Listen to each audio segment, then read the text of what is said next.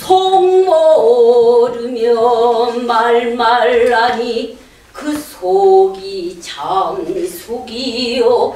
꿈속이요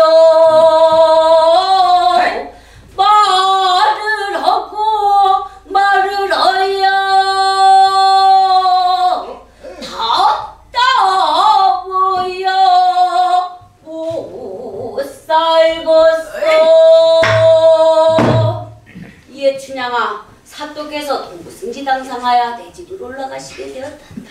아이고 도련님 댁에는 경사나 쏘그리여 올제 이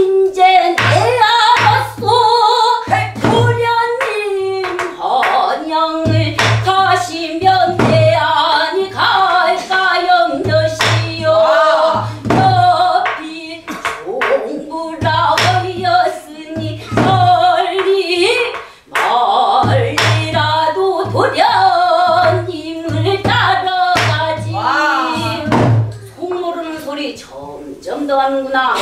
내 아에 들어가 내 사정을 품고하였더니 내장전 아이가 막 잡적탄했단 말이 원근의 남자 하면 사당 참 내도 못 오고 과거 한 장도 못 해보고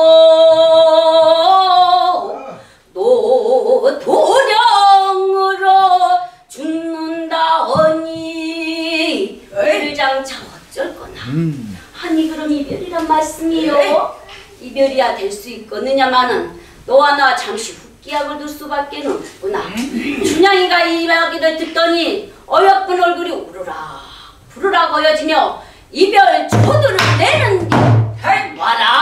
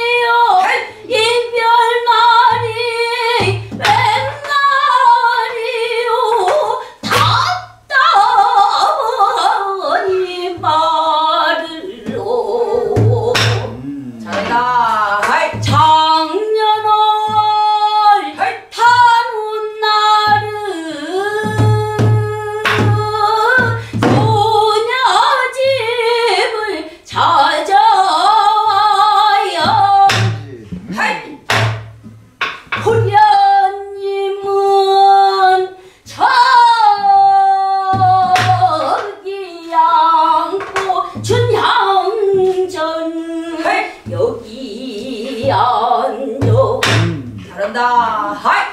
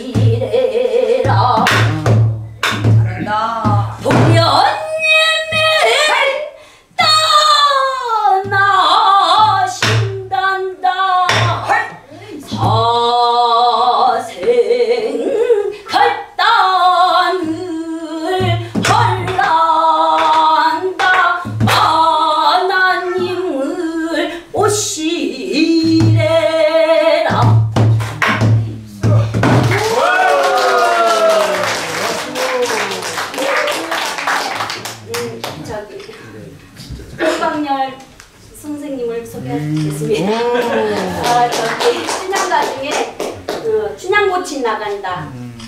박수로 모시 네.